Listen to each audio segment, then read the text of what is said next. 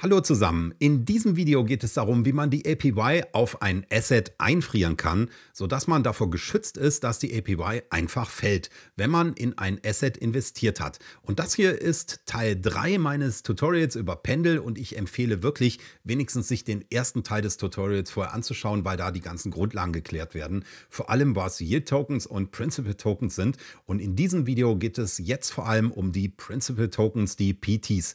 Und die sind meiner Meinung Meinung nach fast noch nützlicher als die YTs, also die Yield Tokens, um die ging es ja im letzten Teil. Alle Teile zu diesem Tutorial findet ihr unten in der Videobeschreibung. Der Nutzen der PTs beruht auf der Idee, dass ja YTs und PTs zusammen immer gegen die ursprüngliche Einlage eingetauscht werden können. Das bedeutet auch, dass also der Wert von beiden Tokens zusammen addiert immer konstant bleibt. Klar, wenn man beides immer für denselben Wert eintauschen kann, egal wie hoch oder wie niedrig der einzelne Token ist, dann ist die Summe beider Tokens immer gleich. Und das bedeutet, wenn der YT im Preis steigt, dann fällt der PT entsprechend. Nehmen wir jetzt also mal diesen schönen Pool hier bei Silo, der sich mit dem Stablecoin Curve USD befasst. Das ist also eine Stablecoin-Einlage und hier liegt die Implied APY aktuell bei über 16%. Die kann aber ganz schnell wieder fallen auf die üblichen 4 oder 5%. Und es ist also die Frage, ob es sich jetzt lohnt, bei Silo diese Einlage zu machen. Klar, wenn die APY so bleibt, kann man das natürlich super machen. Aber was, wenn das Ganze jetzt runtergeht und jetzt sieht man hier, dass die Underlying APY sogar noch höher ist und das heißt, der Markt geht tatsächlich davon aus, dass die APY runtergeht, weil die Implied APY ja darunter liegt. Aber was, wenn ich mir jetzt einfach eine Menge von den PTs kaufe und da steht dann eine APY von über 16% und das ist dieselbe Zahl wie die Implied APY.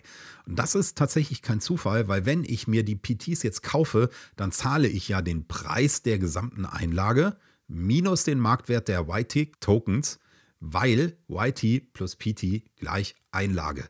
Ich bekomme also jetzt die 10.000 PTs für 9.400 Dollar.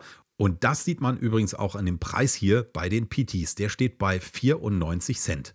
Und wenn ich das erstmal gemacht habe, dann brauche ich nur zu warten bis zur Fälligkeit am 27. Juli und kann dann die PTs für 10.000 Dollar einlösen. Dann habe ich also 600 Dollar verdient, was einer APY von tatsächlich 16 Prozent entspricht, wenn die Laufzeit jetzt ein ganzes Jahr wäre. Und das Tolle daran ist, dass es danach dann auch total egal ist, ob die APY runtergeht. Ich habe die Tokens gekauft für diesen festen Preis und kann sie garantiert für die ursprüngliche Einlage bei Fälligkeit einlösen. Ich muss also nur die Geduld haben und warten und ich habe die APY jetzt also für mich eingefroren für den Rest der Laufzeit. Alle anderen müssen zuschauen, wie die APY fällt. Ich habe das Problem jetzt einfach nicht mehr.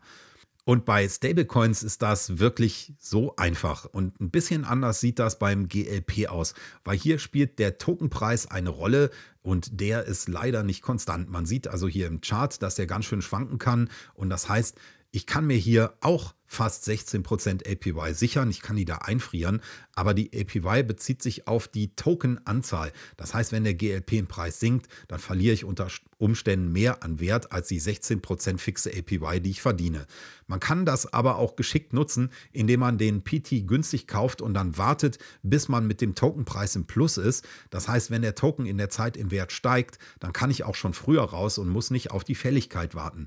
Dafür muss man den PT dann einfach rechtzeitig günstig auf Pendel wieder verkaufen. Und ein anderes krasses Beispiel, das sind die Ether-Einlagen, die sich mit dem Eigenlayer Airdrop befassen. Aktuell haben wir da eine Implied APY von um die 35 Prozent. Das heißt, wenn man aktuell die PTs kauft, dann macht man bis zur Fälligkeit etwa 0,14 Ether Gewinn pro Ether, den man da reintut.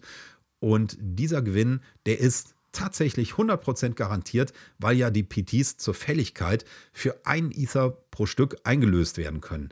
Das bedeutet eigentlich, ich bekomme hier einen Rabatt von 14% auf den Ether, wenn ich den hier jetzt kaufe. Nur muss ich halt leider warten bis zur Fälligkeit. Ich brauche also ein bisschen Geduld. Aber möglicherweise muss ich auch gar nicht so lange warten, weil wenn jetzt nach und nach die Details zum Airdrop rauskommen, dann kann es sein, dass die Implied APY wieder fällt auf bis zu, sagen wir mal, 3% und dann würde der PT ja entsprechend im Wert hochgehen und vor allem auch, wenn der Kurs gleichzeitig noch steigt. Und wichtig dabei ist, dass man für den PT tatsächlich keine Airdrop-Punkte bekommt. Die gehen komplett an die Halter der YT-Tokens. Dafür bekommt man dann aber jetzt einen fetten Rabatt auf Ether und das ist ja eigentlich auch ganz nett und vielleicht sogar mehr wert als die Airdrop-Punkte. Obwohl das auch dann gleichzeitig wieder riskant ist, weil zum Beispiel der RS-ETH nicht wirklich der Ether ist, sondern das ist ein Ether, der mehrfach gestaked wurde und auf diese Weise natürlich deutlich mehr Risiko hat, als wenn man Ether einfach nur staked oder im Wallet hält. Man muss sich das Ganze also gut überlegen und abwägen. Und wie kann man sich bei Pendel jetzt PTs kaufen und sich damit eine feste APY sichern? Und dazu muss man hier bei Pendel erstmal umschalten auf die Trade-Ansicht. Und ich verwende hier die PT-Tokens des GLP und der liegt auf Arbitrum. Ich muss also erstmal auf Arbitrum umschalten. Den PT findet man dann hier unter Markets und der GLP bietet sich hier deshalb an, weil die Implied APY höher ist als die Underlying APY. Würde man also jetzt bei GMX in den GLP einzahlen, dann bekäme man aktuell nur etwa 8% APY und das auch noch mit der Gefahr, dass diese APY sogar noch weiter runtergeht. Und hier kann man sich dagegen aber eine APY von etwa 16% sichern für die nächsten 50 Tage, indem man jetzt die PTs kauft und bis zum Ende der Laufzeit am 28. März hält. Diese APY ist also absolut garantiert, weil man ja jetzt die Tokens mit einem Rabatt von 16% einkauft und die PTs am Ende der Laufzeit 1 zu 1 gegen GLP-Tokens eintauschen kann. Und das heißt, die 16% kann einem keiner mehr wegnehmen. Man muss jetzt einfach dann nur noch warten.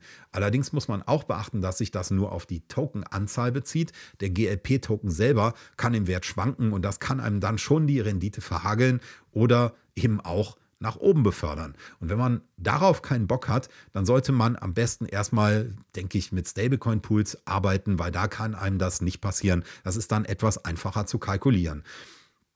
Und wenn man die PT-Tokens hier kauft, dann kann man sich bequemerweise auch ein Asset aussuchen, mit dem man die Tokens bezahlen will. Und hier mache ich das jetzt mit USDC. Äh, das ist hier einfach viel bequemer. Und äh, dann kaufe ich mir also PTs im Wert von 1000 Dollar und dann sehe ich hier unter Effective Fixed APY, wie viel Gewinn ich machen würde, wenn der GLP jetzt bis zum Ende der Laufzeit immer den gleichen Kurs hätte. Und ich muss jetzt also dann nur noch warten bis zum Ende der Laufzeit. Und wenn die dann abgelaufen ist, dann kann ich hier im Dashboard meine GLP-Tokens wieder zurückholen und claimen und die könnte ich dann auf dem Markt verkaufen. Und aktuell geht das natürlich noch nicht, weil die Laufzeit hier noch nicht zu Ende ist, sondern für mich gerade erst angefangen hat. Wenn ich Lust habe, dann kann ich auch die PTs noch während der Laufzeit wieder verkaufen. Und das wäre zum Beispiel günstig, wenn entweder der GLP-Token jetzt im Wert steigt oder wenn die APY wieder runtergeht, weil wir wissen ja, dass wenn die Implied APY fällt, dass dann der Wert des PTs wieder steigt und in dem Fall würde ich ja dann sogar hier Gewinn machen. Und das war es jetzt auch wirklich schon mit dem Tutorial über die Principal Tokens, weil es ist wirklich so einfach bei Pendel. Und im nächsten Teil geht es darum, wie man jetzt Liquidität auf Pendel zur Verfügung stellt und dann auf drei verschiedenen Ebenen Rendite übereinander stapelt. Und das ist dann die vielleicht einfachste Art, mit Pendel Rendite zu generieren. Und bis dahin erstmal alles Gute, bis bald, tschüss.